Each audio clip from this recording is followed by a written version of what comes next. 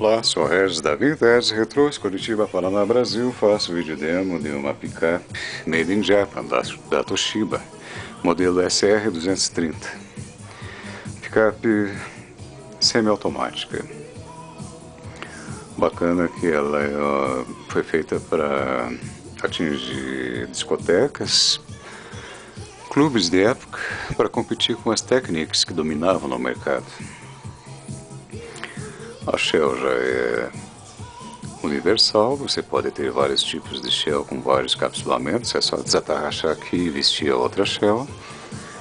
Possui aqui o anti-escape ajustável, o Tony Arm ajustável, o Arm Lifter, okay?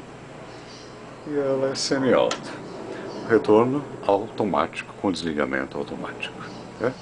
Depois para ligar ela, você vem aqui despresilha da presilha algema, Puxa o braço aqui para cima do LP. E não se assuste.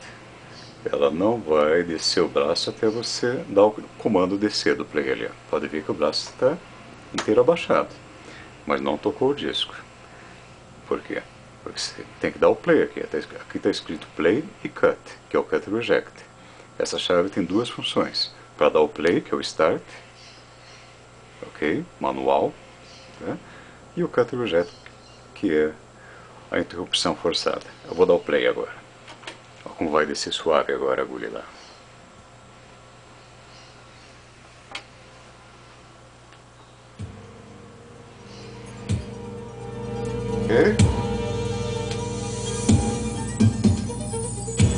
E aqui é o cut reject, que é a interrupção forçada.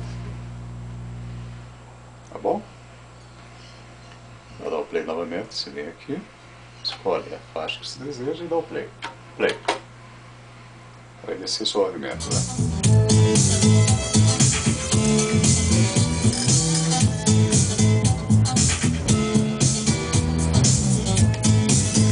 Tampa original, perfeito estado de conservação. Toca disco semi-novo. E made in Japan, né? Feito no Japão, não é nacional. Toshiba SR230, 100% funcionando.